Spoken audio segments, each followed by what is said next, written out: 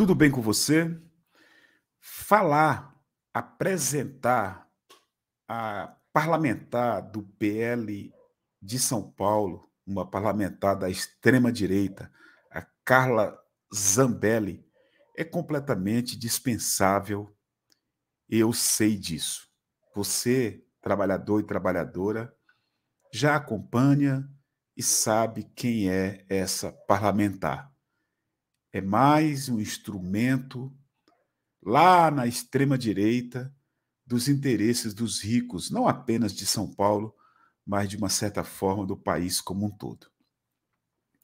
Mas é importante para a gente falar dessa, desse voto do Gilmar Mendes, que começou o enterro político dessa parlamentar extremista, é importante a gente tentar fazer aqui uma pequena reflexão.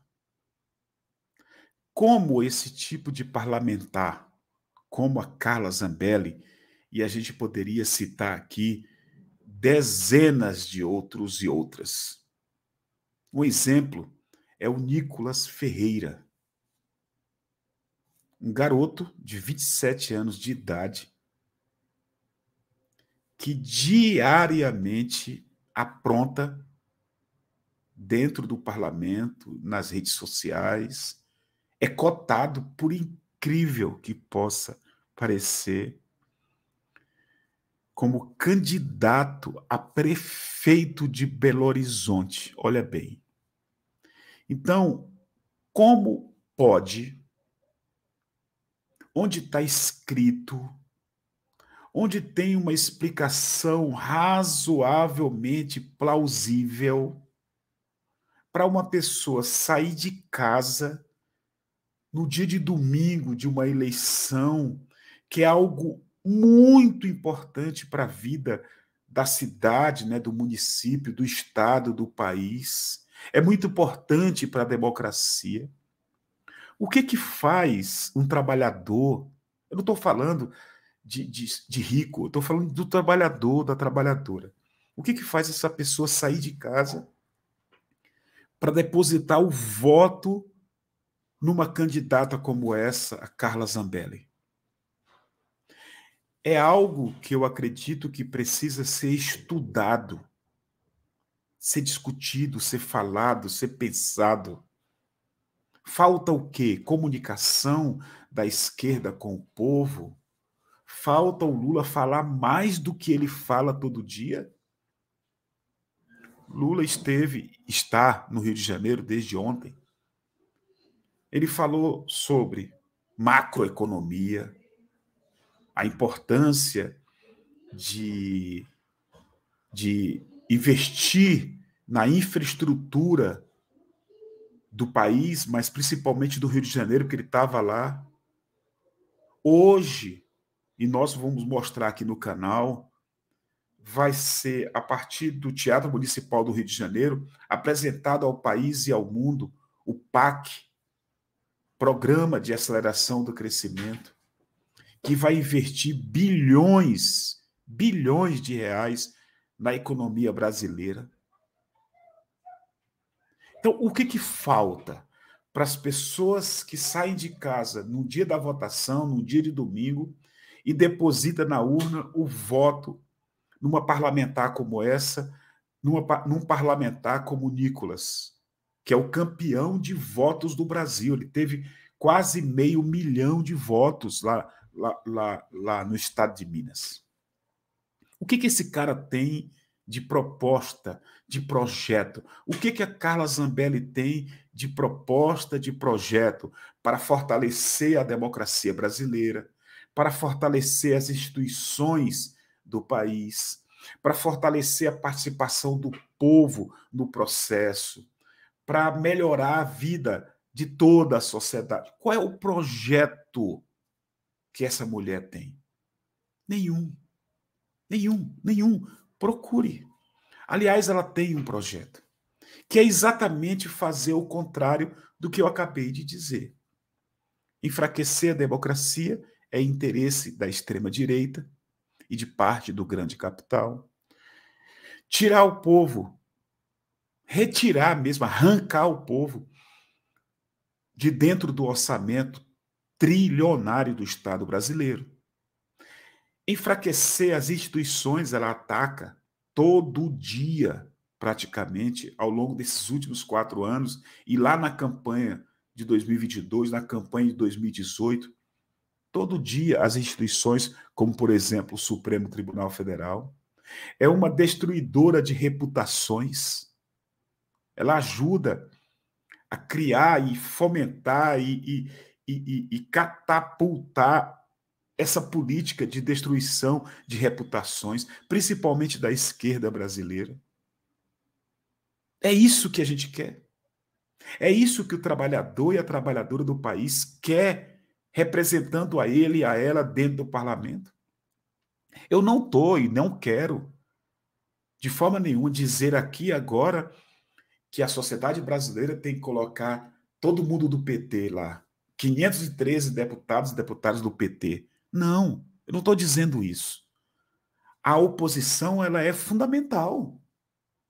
Agora, uma oposição que seja civilizada, que não pegue em arma e atire nas pessoas a, qual, a nenhum momento, em nenhum momento. Que seja defensora do país como um todo, se não é defensora da, da classe trabalhadora, mas que defenda um país civilizado com educação, com ciência, com tecnologia. E, e por aí vai. Então, não estou aqui defendendo de forma nenhuma que a esquerda apenas tenha deputados. Seria muito bom, mas não estou defendendo isso. A presença da oposição de direita, aquela direita que você possa chegar perto e não levar um, uma porrada na cara, um tiro, é importante. É muito importante. Agora, uma extrema-direita que defende a violência, a, a, o desmonte do país, como essas duas pessoas que eu citei, aí é brincadeira.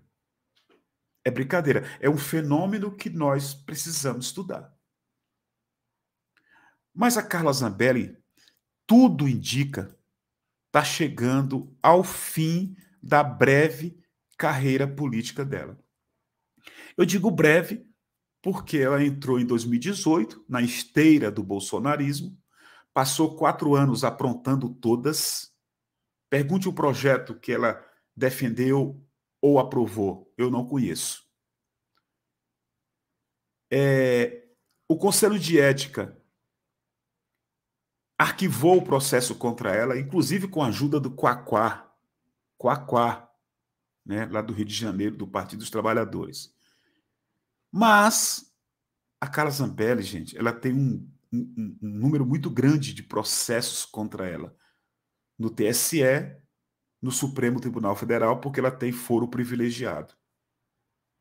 E um deles é um inquérito, uma ação que foi aberta contra ela devido ela pegar uma arma e perseguir uma pessoa, um ser humano, um jornalista, um homem negro, lá em São Paulo, no dia da eleição do segundo turno do ano passado. É tanto que o, o Bolsonaro, o bolsonarismo, culpa ela pela derrota. Não acredito nisso, mas culpa ela pela derrota. A derrota do Bolsonaro tinha um motivo: o desgoverno dele e a presença de Lula né? O povo viu que é melhor Lula.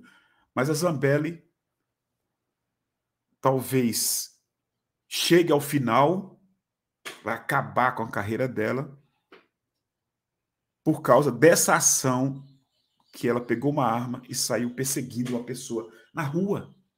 Na rua, colocando em risco a vida da pessoa e das pessoas ao redor. Todo mundo viu isso no ano passado uma coisa horrorosa, horrorosa de ver. O cara ficou desesperado correndo, entrou no bar, né, num, comércio lá, os assessores dela correndo atrás dele também e ela atrás. Uma coisa assim horrorosa, parecia um país desses países onde né, a, a violência tomou de conta completa, completamente. Então, é essa ação. O Gilmar Mendes deu o primeiro voto A votação começou hoje e o Gilmar Mendes deu o primeiro voto. Gilmar vota para Zambelli tornar-se ré em caso de perseguição com arma em São Paulo. Né?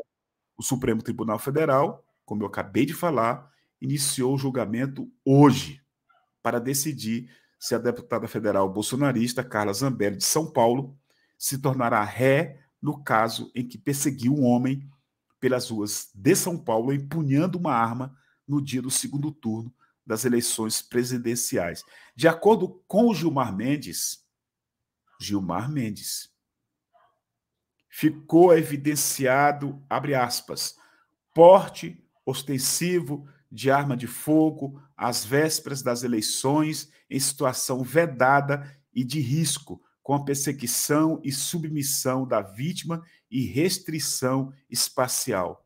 Mendes também destaca que, apesar de a bolsonarista possuir porte de arma, o uso fora dos limites da legítima defesa, em contexto público e ostensivo, especialmente às vésperas das eleições, teoricamente pode implicar responsabilidade penal. No entanto, a análise está em andamento no plenário virtual do Supremo até o próximo dia 21. Então, até o dia 21, todos os outros 10, são 11 ministros, votarão e colocarão fim à carreira da Zambelli na política brasileira. É uma coisa boa, saudável, pedagógica. Escreva aqui o teu comentário, por favor. O nosso canal voltou na madrugada de hoje à monetização. Nós estamos preparando uma campanha nova para te chamar para se inscrever, assistir as nossas lives e continuar nos, nos ajudando financeiramente, com Pix, entrando como membro, como membra. É muito importante para esse trabalho aqui. Em relação a esse, a esse vídeo, pegue o link, coloca nas tuas redes sociais, mande para teus amigos, para as tuas amigas, tá bom? É fundamental. E claro, se você ainda não está inscrito ou inscrita, se inscreva se inscreva. Pega o link ou do canal ou desse vídeo e manda para uma amiga, para um amigo, seguido de um pequeno texto explicando: olha, esse é um canal da classe trabalhadora, do povo, que em suas lives debate, discute questões importantes do povo. Se inscreva aí, meu amigo, aí coloca o nome da pessoa. Ajude a gente a ampliar o nosso alcance. Muito, muito obrigado de coração e até o próximo vídeo.